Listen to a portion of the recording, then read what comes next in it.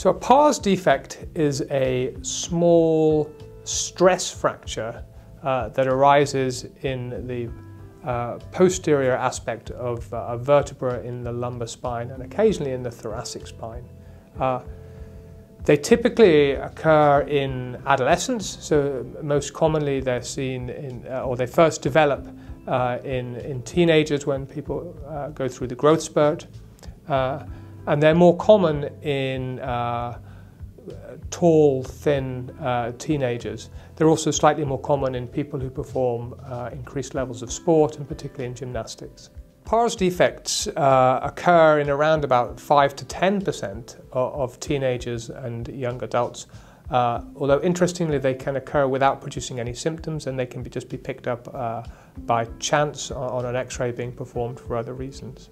Uh, the typical symptoms of a PARS defect would be uh, the uh, sudden onset lower back pain, usually triggered during a sporting activity, perhaps in, in a teenage boy playing in the scrum or a gymnast whilst stretching.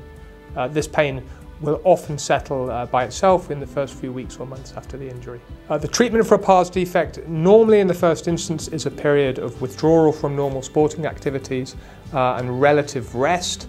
Uh, some surgeons uh, use a brace, which may be a rigid belt that they wear around the lower back although the evidence that these help is, is quite mixed and so my own preference is simply to give analgesics in a period of abstinence from sport, at least for the first three months. The pain from a PARS defect does not settle down within the first few months, then the treatment options are to either inject a small amount of drug around the fracture to see if it will take the pain away, and if this doesn't work then there are minimally invasive operations that can be carried out to help, although thankfully they're only needed in a very small minority of patients.